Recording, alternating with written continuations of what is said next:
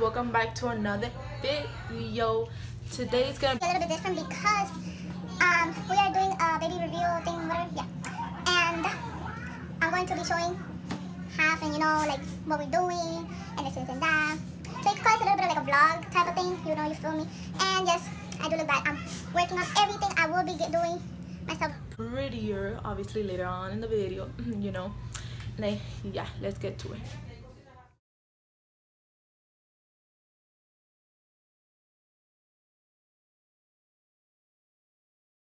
I went to Party City to buy the balloons and some plates and we already got a lot of decorations but we were missing this and I was dying to get these. And I am the only one that knows what the baby is and it's a girl but nobody else knows this. And then in my bed there's a lot of balloons as well and then we're still doing more stuff.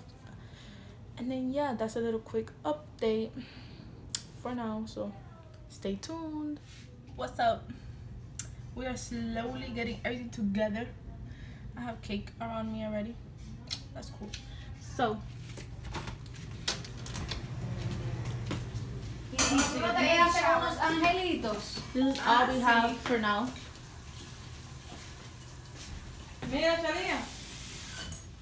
that's my aunt.